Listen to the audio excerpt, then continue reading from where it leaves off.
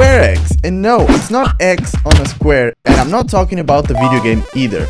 It's something else. But first, let me ask you something. Have you ever worried about opening a suspicious file you received from an email or WhatsApp or even Telegram? Or have you ever connected to an insecure Wi-Fi network and worried about someone being monitoring your online activity? Well, if so, you'll be more than happy to know more about SquareX. Because SquareX is a browser extension that focuses on privacy and allows you to open any link or file and yes, even those with malware without the risk of being hacked. And you wanna know what the best part is? Yup, it's completely free and if you think that sounds crazy, let me give you some context.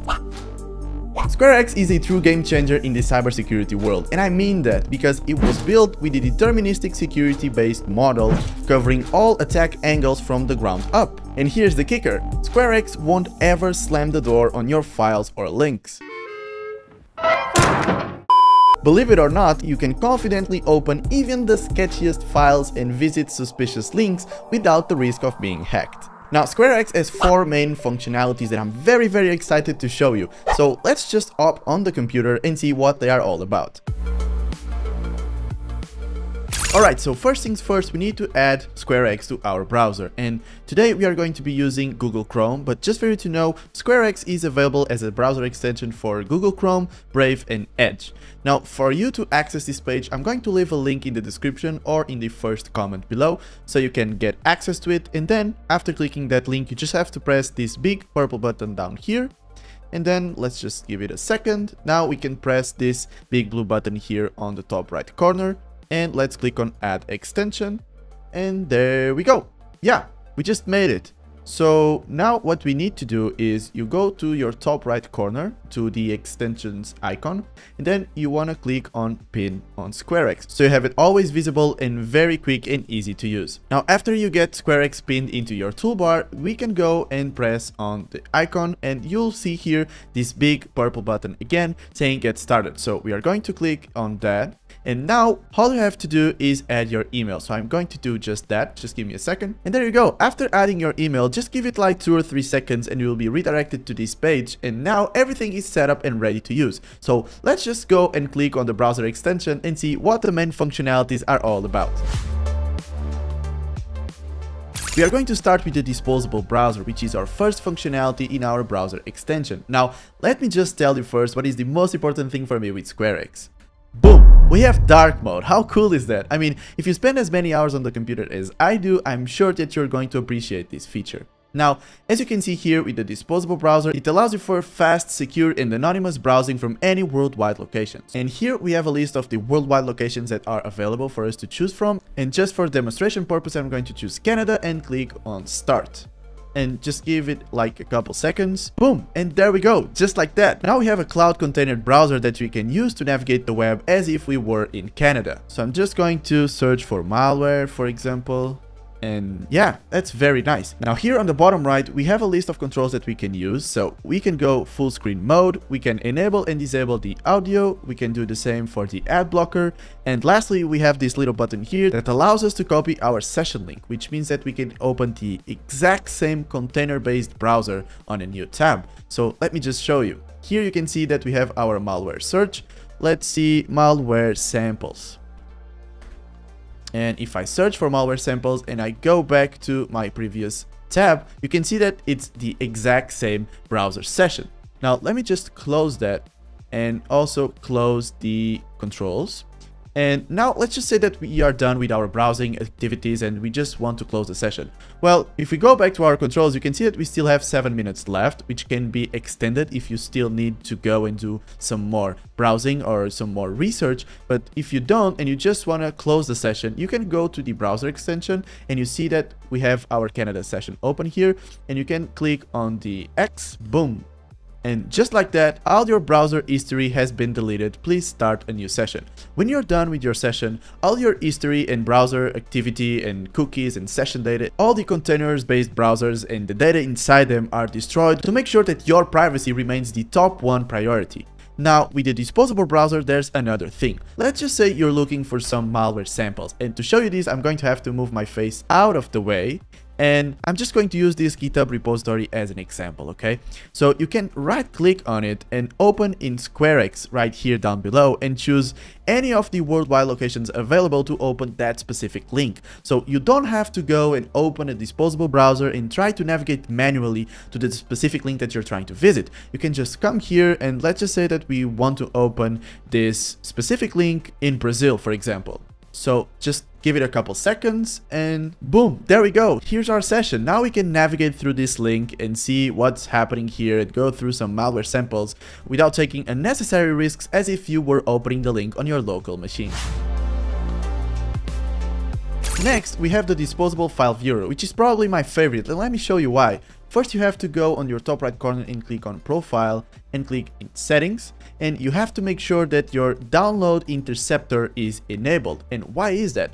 If you go to your email, let's just say someone sent you some very suspicious files. You're not really sure if you should open them or not. Here's what you can do. If you click on download, let's just download this report file here you'll see that, okay, now we have an option to view file safely in disposable file viewer, which I'm just going to click on that. Another thing you can do, and for this we are going to use a different file. For this example, we are going to use the accounting records. You can right click on it, and again, down here, as you can see, you can open it in SquareX, and for this particular example, I'm just going to choose Australia. Now, here it is. It took like I don't even know, one second to open the file, but here's the interesting thing. Remember the report that we tried to download this first file here on your email that we pressed here on the download button?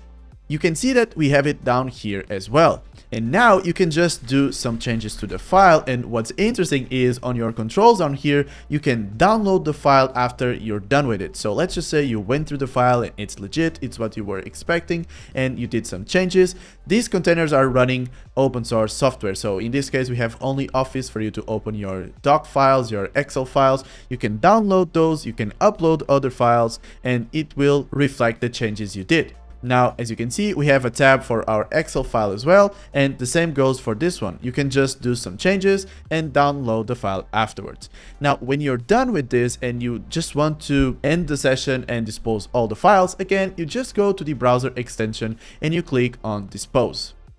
And there we go. File viewer has been disposed, please start a new session. So again, just like with the disposable browser, all your data and files and the changes you did are completely deleted and destroyed after the session ends.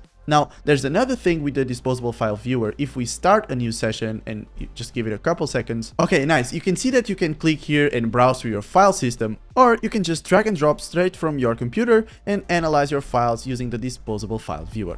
By the way, here's a little fun fact for you. Did you know that SquareX was founded by a cybersecurity expert? I mean, Vivek should probably be a cybersecurity Hall of Famer at this point because he was the founder of Pentester Academy, which is a well-known cloud-based education platform for offensive cybersecurity. He was also the one who discovered the infamous attack Caffe Latte and has written multiple books and research papers on offensive cybersecurity techniques. Now, in my opinion, having a founder with such a deep background in cybersecurity, it's only natural that SquareX prioritizes security and privacy. But let's get back to the computer and take a look at the two remaining functionalities that SquareX is offering at the moment.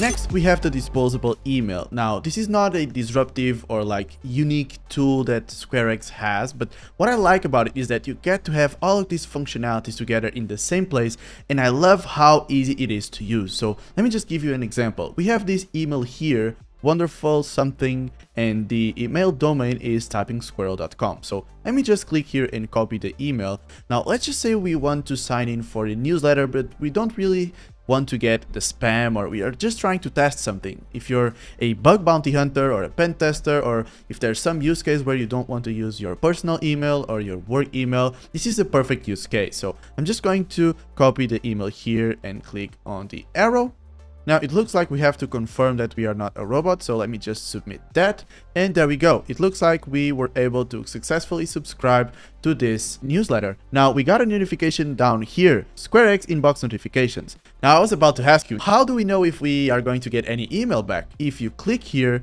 here's what's gonna happen. Bam, there's your email. You can see that we got an email back from Hacker News with a link to confirm our subscription to the newsletter. Let me just close that. You can also access your inbox if you click on the browser extension and as you can see here, you have a inbox button that you can click and you'll have all your emails here. This is the same exact email we just saw a couple seconds ago. Now, if you want to make this a little bit more personalized, there's some ways to customize your email. So if you click on edit, you can just come here and say that you are a very nice admin and choose the hey what's up uh, email domain and click on change and there we go. We have our new email that you can use to do pretty much everything we want when it comes to testing tools, in which we need an email address as an input. So yeah, this is very useful and I love it. And that's basically it. Basically, with this, you get a temporary and anonymous and secure email inbox. You eliminate the spam, unwanted ads, and malicious threats. Now, if you want to just delete the inbox and get a very new and fresh email, you can just click on regenerate and you get a new email right away. Last but not least, we have smart integrations. And if we click here on settings, you can see that we have a Gmail smart integration, preview in enhanced privacy mode. Block all email trackers so the sender will never know you viewed the email. Now, I'm pretty sure that SquareX are going to add more features on this category, but for now, are going to test this one for Gmail. So make sure you have this enabled. And if you just enabled, in order for it to work, you have to refresh your email. And now you come here and you see this email, but you don't want anyone to know that you already read it. And what you're going to do is you're going to right click on it. And as you can see, we have this option of preview in enhanced privacy privacy mode. We are going to click on that and what will happen is you're just reading your email in a disposable file viewer, which is in the cloud but is disconnected from the internet. And if we zoom in a little bit, as you can see here on the right, SquareX Enhanced Privacy Mode blocks all email trackers including images. The sender cannot know you read this email and there's a private view and no data is sent to our servers. Again, privacy number one top priority. And as you can see, uh, the subject was an urgent email, but it was not that urgent after all. As we all know, it happens very frequently. now that we cover all main functionalities, were you surprised by them? Well, I certainly was. And I can tell you that as a cybersecurity professional, I've been using SquareX since the first day I discovered it. And if you want to give it a try for absolutely free, make sure you check the link in the description or in the first comment below so you can give it a try and see it for yourself. I really hope you enjoyed this video and as always, I'll see you in the next one. Bye!